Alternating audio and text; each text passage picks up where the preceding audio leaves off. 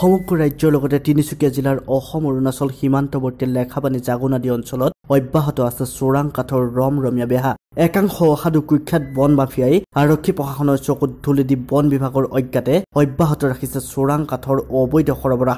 শনিবাৰে তিনিচুকীয়া জিলাৰ লেখাপানীৰ বন সংমণ্ডলৰ অধীনস্থ তিৰাপ নৈৰ ফুলবাৰী ঘাটৰ কাষত লুকুৱাই থোৱা অৱস্থাত স্থানীয় বন বিভাগে অতৰ্কিত অভিযান চলাই প্ৰায় এশ পঞ্চাছ চেপ্টি মূল্যৱান চোম কাঠ জব্দ কৰিবলৈ সক্ষম হয়।